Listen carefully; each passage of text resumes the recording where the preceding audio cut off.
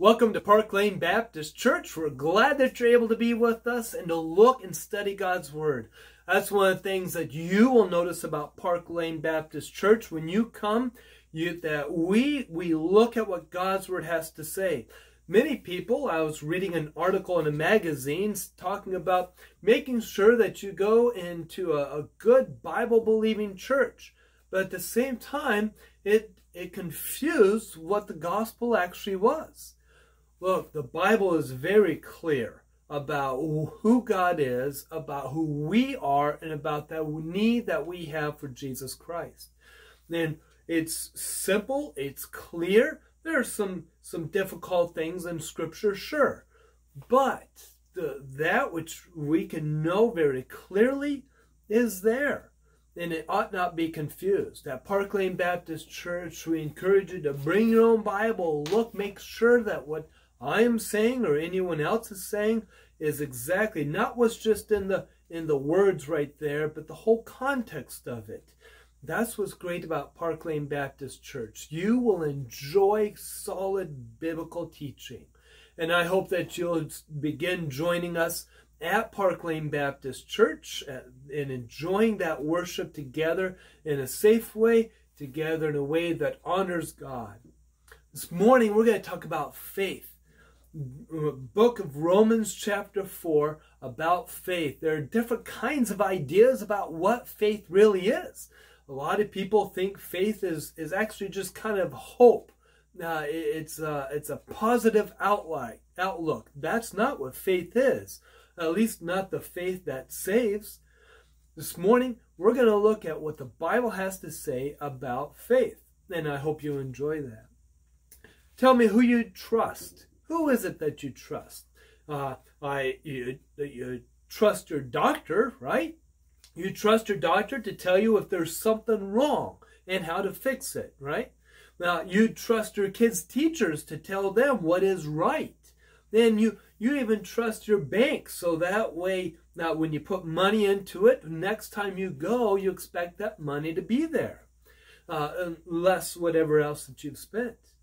You see, you trust them, you trust them quite well. When your doctor tells you something, you don't go look it up in all kinds of medical uh, books and information and journals to try to make sure that they really diagnose you correctly with having the flu or with having uh, a cold or with having, you know, something simple.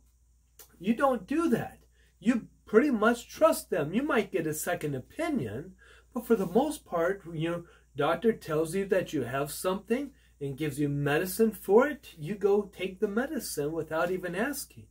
You you trust your uh, kids' teachers. You don't do all the research to make sure that algebra that they're being taught is done exactly right.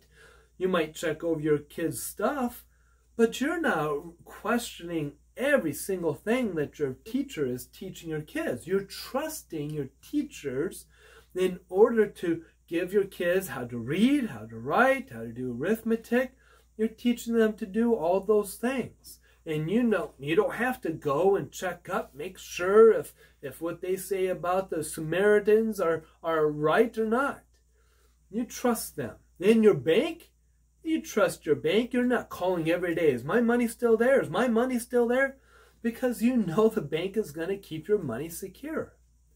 We trust people, we trust institutions, we trust, uh, we, on one hand, we say we don't trust the government, but on the other hand, we do trust the government.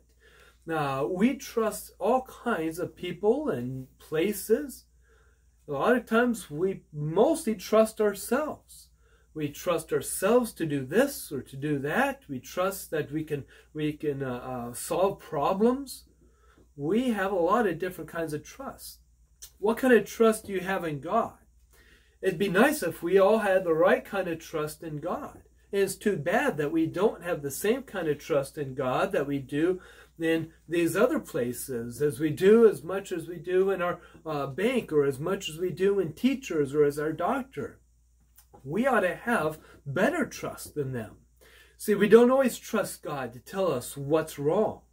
So we doubt, oh, well, society says this is wrong, but God says this is right. Or God says this is wrong, but society says this is right. And we don't trust what God has to say, or we question whether or not it's true. We don't trust God to tell us what is right.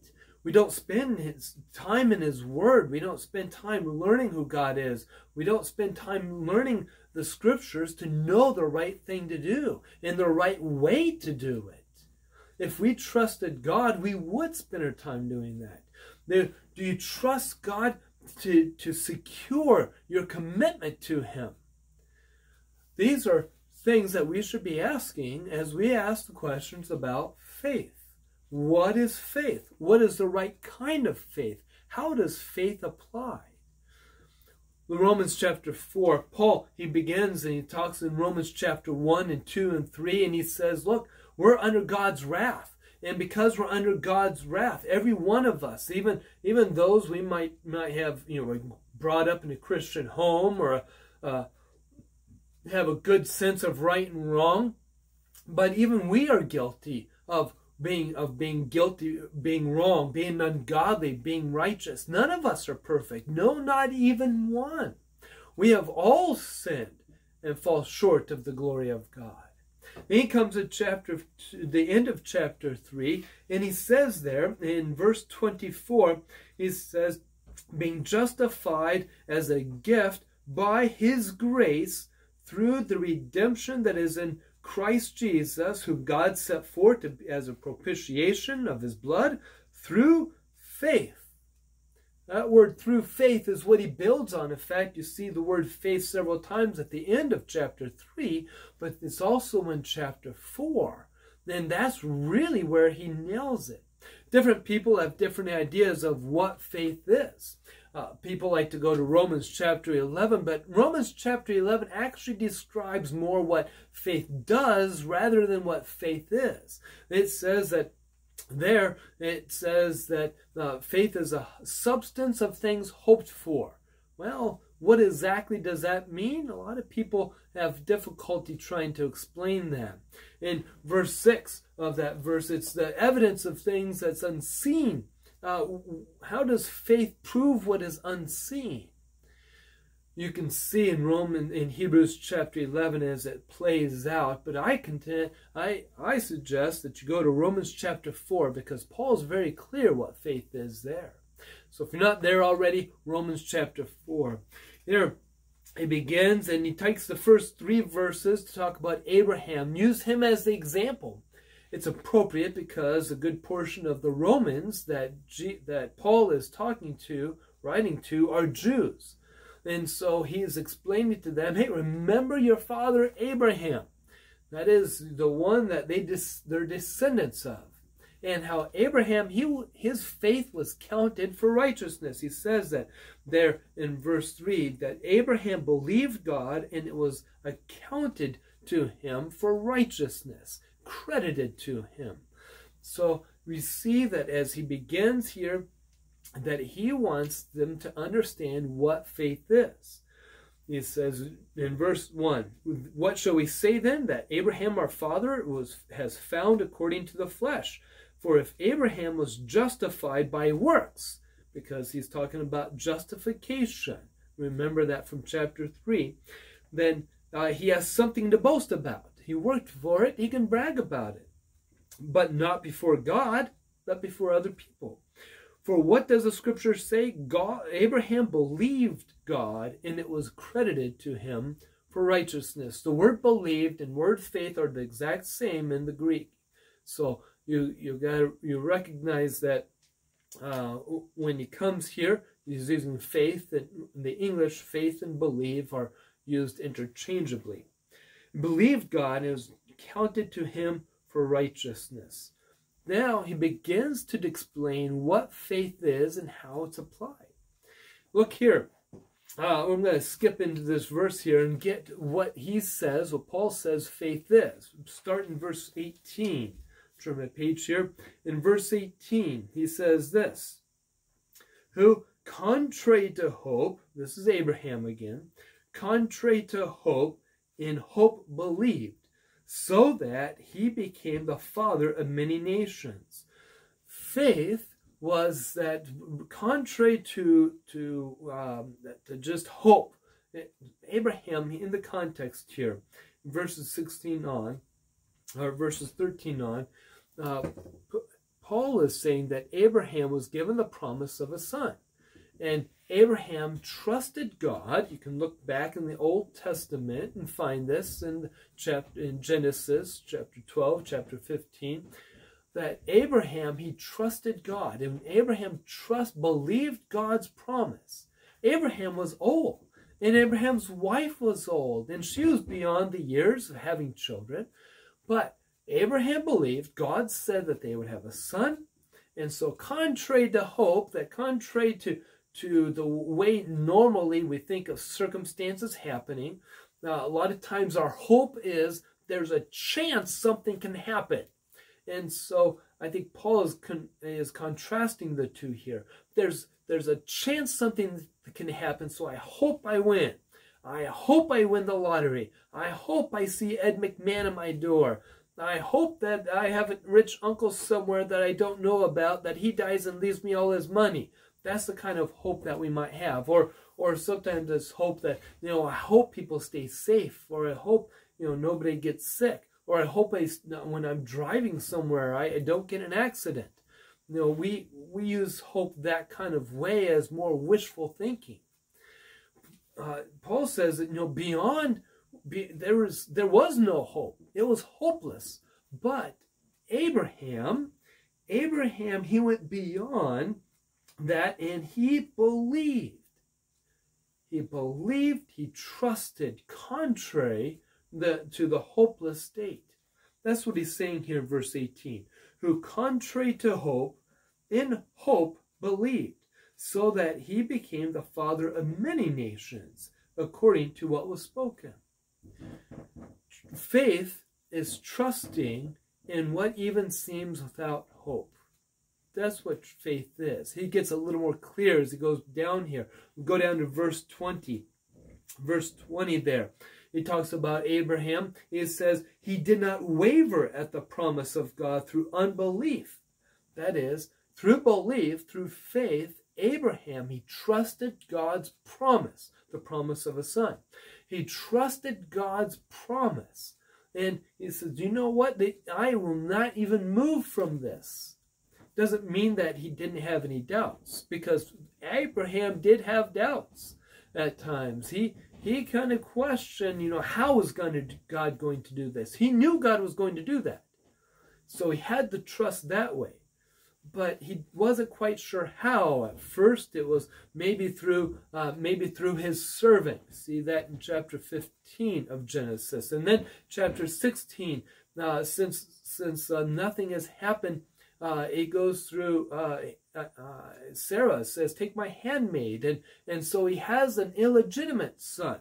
But God says, "No, that's not what I'm going to do. This is going to be a son from your own body." And finally, eventually, God did fulfill that. It took a lot of years before God decided this is when I'm going to fulfill that promise. Abraham was 100 years old. He waited a long time when he was given the promise that because they, they were not able to have children, apparently, for the many years that they were married. But God then said, I'm going to make you the father of many nations. You're going to have a child and, and his descendants. Abraham, he trusted and he didn't waver. He knew that was going to happen, though, though he tried to cheat that a few times and tried to make it on his own. Verse 21 is probably the clearest place where you're going to find what faith really is. In verse 21, it says this, being fully convinced that what God had promised, God was able to perform. There is a great definition of faith. It's trusting, it's it's belief. It's not just, you know, I believe it to be true, but it's complete trust the complete trust that, as he says here, he says, fully convinced. He knew this was the right thing. He didn't convince himself. He trusted the character and person of God. And so God, when he says, I'm going to make you the father of many nations, he, to Abraham, Abraham says, yes, I get it. I'm going to believe. And he did. Sometimes maybe it becomes a little more clear when you see what faith is not. In verse 4, we see what faith is not. In verse 4 of this same passage, Abraham believed God, it was counted for him as righteousness. In verse 3, Romans chapter 4, verse 4, now to him who, uh, now to him who works, the wages are now counted as grace, but as debt. But verse 5, but to him who does not work, but believes on him who justifies the ungodly, his faith is counted for righteousness. What you find here in this passage is that the uh, faith is not works. It's not laboring and toiling, trying to achieve. That's not what faith is.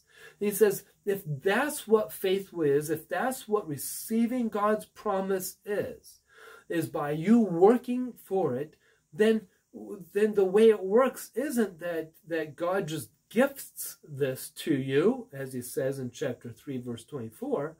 No, instead, it's a debt. God owes it to you. Well, I guess you met the quota. You did enough good deeds or or you're a good enough person. So I guess I owe you the uh, this the promise of eternal life. That is not true. That's not what faith is. There are a lot of people that believe that it's faith or faith plus works. That that you have to believe, but you also have to stay on God's good side. No, that is not what he says here. He says it is by faith alone that this is done. Now, to him who works, the wages are counted by his grace, uh, not counted as grace, but as a debt. Verse 5 But to him who does not work, but believes on him who justifies the ungodly, his faith is credited for righteousness. It, if I go to verse 13, over here, turn my page, verse 13 says the promise that that uh, he would be the that Abraham would be the heir of the world was not to Abraham or to his seed through the law, but through righteousness of faith.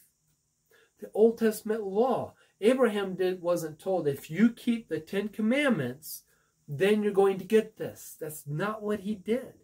Instead, what he did is God did. God says, Look, I'm gifting this to you because you trust me. I'm going to give it to you. That's what faith is. It is not by doing good things that the law has to say. Verse if that was the case, verse 14 says that if it would be by the law, then uh, the faith is worthless. Then what's the point of faith? You don't need to trust God because you're working for it. And in verse 15, uh, long, says goes along with the same thing here. Uh, verse 14 says, For if those who are uh, of the law are heirs, uh, Jews are, are going to inherit, uh, faith is made void and the promise is of no effect. If it's just by, by the lineage, or in verse 15, because the law, it brings about wrath. The Old Testament law, it did not fix. It pointed out what sin was. It didn't fix it. Jesus had to come to fix the relationship. And if that if if it came by if the Old Testament law was all it took, then of course we would all fail. But even at that, the faith would be pointless. Look, faith is not trusting myself to do good things. It's not trusting my own goodness. It's not me doing a bunch of good works. That is not what saving faith is. Saving faith is simply me saying, God, I trust what you have done. The object of your faith is what it depends upon as well. Notice that the what the object of faith is. To go back here to verse 5 of uh, chapter 4. He says, But to him who does not work, but believes on him who justifies the ungodly. Who is it that justifies the ungodly? God is. God the Father. God the Son, God the Holy Spirit, but here he has in mind primarily God the Father. God justifies the ungodly. And it says here that the object of your faith is in what God does for you. Verse, uh, we can look and continue and look verse 24. It says about Jesus who was raised from the dead. It says in verse 20, um, no, yeah, verse 24, verse 23. Now it is not written for our sake alone that it was imputed or credited to him, but also for us. It shall, that his righteousness, will be imputed or credited to us who believe in him, who raised Jesus from the our Lord from the dead. Your faith has to be in God. It can't be in, well, um, God's going to look at my good deeds, and so he's going to say, I qualify it's not trusting God to look at what I've done because then I'm really actually trusting in my good deeds. I'm not trusting what He has done for me. Instead, it has to be just complete faith. It's nothing of my own, nothing of myself. It's in what God does for the believer. Does for the believer. Your faith has to be in God. He is to be the object of your faith. To say, to put your faith in Jesus Christ is also right. See, because it's in Christ's sacrifice. If, if you're thinking, well, maybe I have my faith in Jesus Christ rather than in God the Father. If you have your faith in Jesus Christ, your faith still is in God because you're trusting what Jesus has done for you. Look at what it says here in verses 24 and 25. Again, uh, verse 24, but also for us, it shall be imputed to us who believe in him who raised Jesus from our Lord from the dead, who was delivered up, Jesus, delivered up because of our offenses, our sin, and was raised because of uh, or for our justification. The word because in, in both cases there um, in verse 25, delivered up because of our offenses, and, and uh, raised because uh, the word there is uh, for the it means through or, or for the sake of. So you could legitimately read it this way: who is delivered up for because for the sake of our offenses, and was raised up for the sake of our justification. Jesus died on the cross, was buried, and came back to life three days later. God raised him from the dead. Three days later, Jesus, God the Father was involved in his resurrection. Jesus, the, God's the Son, said, take my life, I'll take it up again. And even we find God the Holy Spirit was involved in the resurrection of Jesus Christ. Jesus' sacrifice his death, burial, and resurrection is the, has to be the object of your faith. So it works like this. How in the world do I get spared, Romans chapter 1, verse 18, from the wrath of God? Because I'm ungodly and I'm unrighteous. I need to believe God's promise that if I put my full faith in what He did for me on my account, that He will forgive me and that he will give me the promise of heaven. Look, that's what faith's final result is. Faith's result is imputed righteousness. If I go back here and I look uh, in, uh, if you notice here, the imputed righteousness that's brought up. Look at, uh, we looked at verse 5, but look there again. Uh, but to him who does not work, but believes on him who justifies the, the ungodly, his faith is accounted for righteousness, or imputed for righteousness. It's credited to him for righteousness. Look in verse 6. Just as David also described bless, the blessedness of the man who God imputes righteousness. To impute means to, to, um, to give credit for. Um, you've done good things that that people have taken credit for, haven't you? You've done something, you had a great idea, or you did a great job, or a great result, and somebody else came along and took credit for it. Or maybe you've been given, assigned credit for something you didn't want to sign for. You've been blamed for something that somebody else did. That's what it means here to impute to, to put on your account, to, to, to, put, uh, to put it in your lap, and to put it to your credit. Here, what is saying here is when you put your faith in Jesus Christ, we learn that God justifies, chapter 3, that, and, and it's also mentioned here in chapter 4, justifies the believer. He declares the right, the sinner righteous. He declares him righteous. Here, in the imputing of righteousness says he not only declares us righteous, but he puts Christ's righteousness, God's own righteousness, on us. That's pretty fantastic. So now you're declared righteous, but you are made righteous in his eyes because he credits, God credits his own righteousness on you. That is pretty fantastic because then God sees you as righteous. He hasn't just declared you righteous, he credits you with his own righteousness, making you fit to go to heaven, fit for that promise. Verse 7 Blessed are those whose lawless deeds are forgiven. When you put your faith in Jesus Christ, every sin that you have ever done or ever will do has been forgiven. And he continues on, whose sins are covered.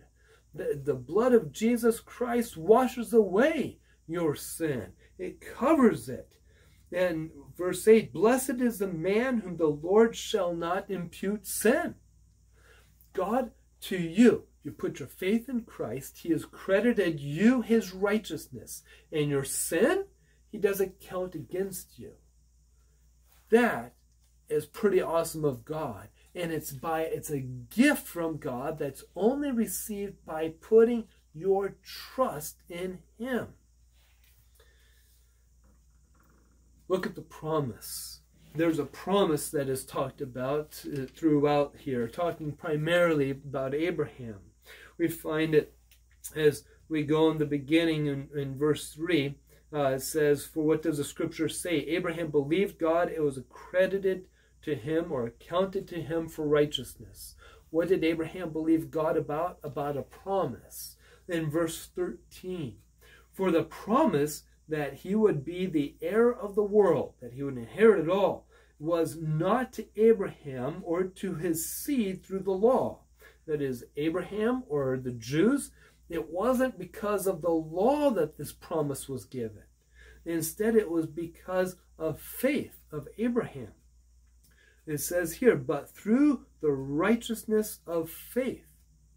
For if those who are of the law are heirs, errors, heirs, those who would inherit, faith is made void, uh, has made void, and the promise has no effect because the law brings about uh, wrath. For where there is no law, there is no transgression. Look at verse 16 here. In verse 16, it says, Therefore, uh, it is by faith, uh, it is of faith that it might be according to grace so that the promise might be sure uh, to all the seed or descendants, not only to those who are of the law, to the Jews, but also to those who are of faith of Abraham, the Gentiles. We have the same faith as Abraham had. Our righteousness, our faith is credited to us as righteousness. This here, the promise that's given, go on down to verse 22. It says, Therefore, it is accounted, the his faith and his promise is accounted to him for righteousness. Verse 21, uh, and being fully convinced of what God had promised, that what God had promised, God would perform. The, the results of faith for Abraham was that the promises that God made to him, God was going to keep them. Abraham believed that. And because Abraham believed it, God has kept those promises. The descendants of Abraham is Israel, not the country, the Jews. The Jews throughout all of history and throughout history, all the number of Jews, we can't even, can't even count them. And all the Jews, the millions of Jews, is a result of Abraham's promise. There are a number of times where it looked like that the Jews were literally going to be annihilated from the planet.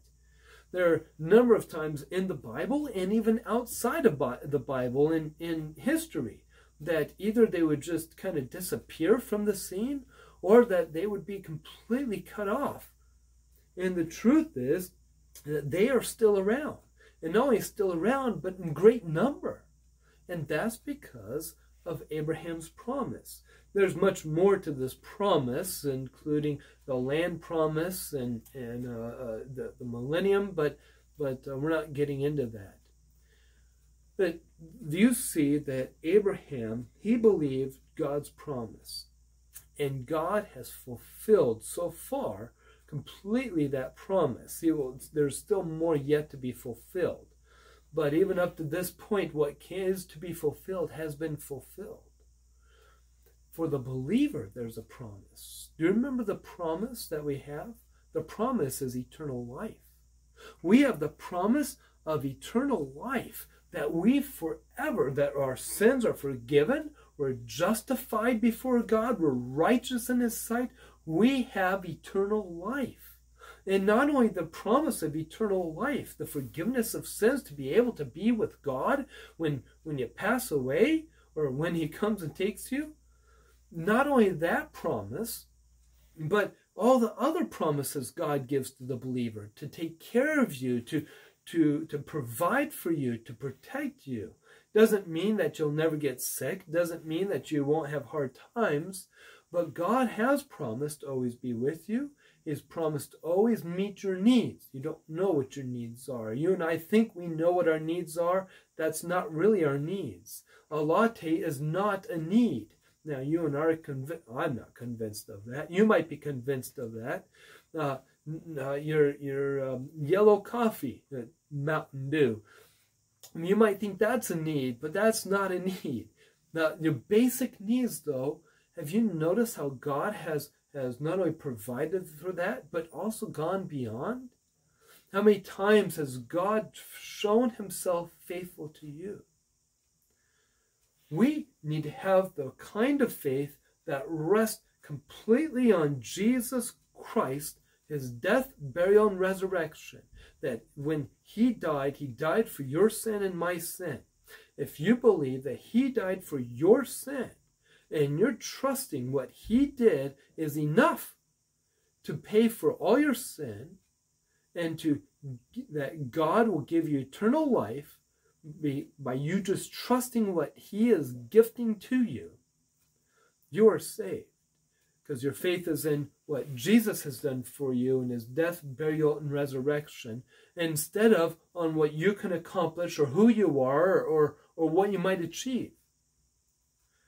You put your faith in Jesus Christ as your Savior, you got a special promise of eternal life. Not only that, of God always being with you. In fact, you have His Holy Spirit, which He promised.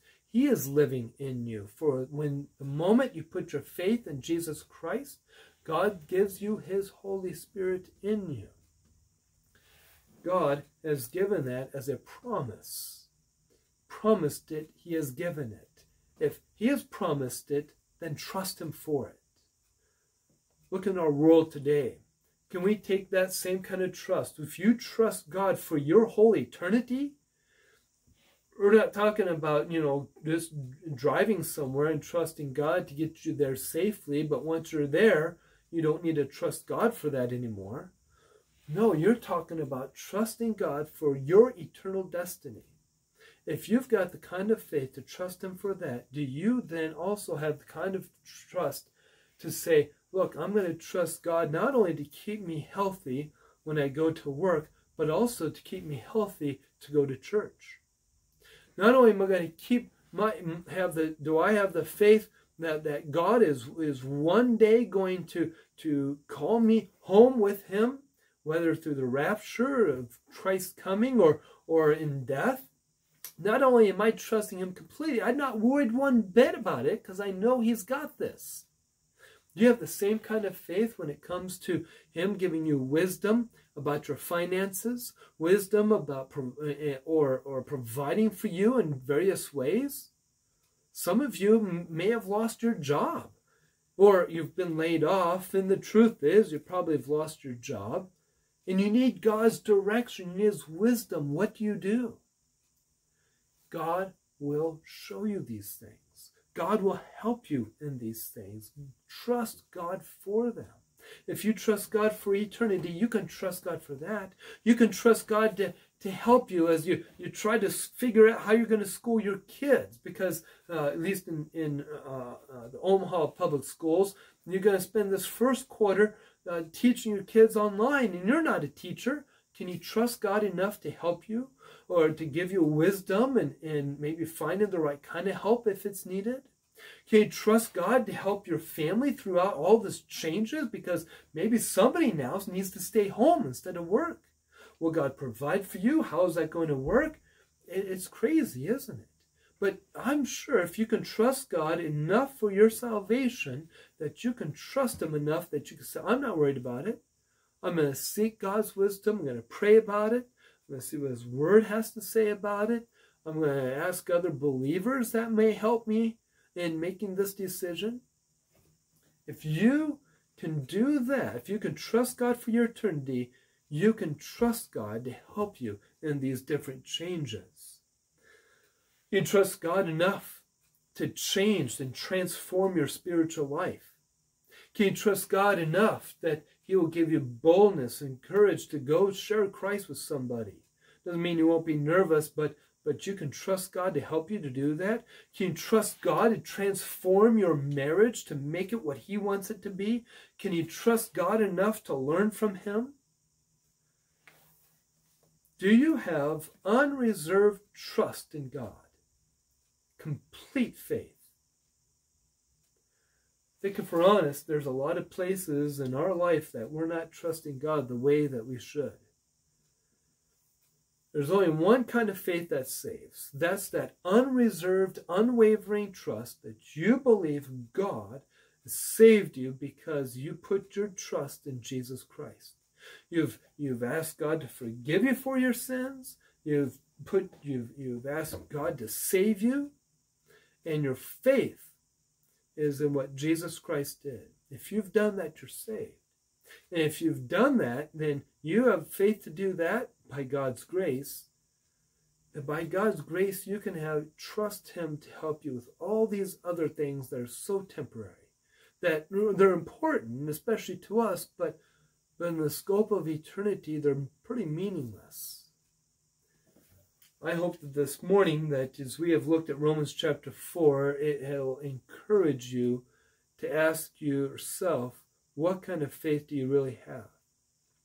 God tests your fight, your faith, so you know what kind of faith you have. The different trials Peter talks about, and persecutions even, and for some, that that is a test of your faith.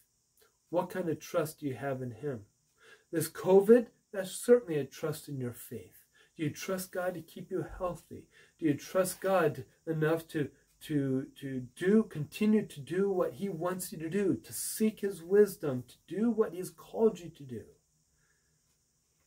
What kind of faith do you have? Father, I ask that you help us to know our faith and to grow in our faith. I pray that you help us trust you, trust you to meet our needs, trust you to uh, bring about the right circumstances in our life, to give us wisdom, uh, wisdom to, and discernment. I pray that you help us to trust you enough to look deeply in your word and to trust what your word has to say. So that way we are following you, that we are not neglecting you, that we're not doing things foolishly. Father, I ask that you will help us so that way, as we get to know you better, as our faith grows, that we will be able to be discerning, knowing how not to be foolish, but also how to be faithful. Lord, I ask that you will help us be full of faith before you in every aspect. In Jesus' name, amen.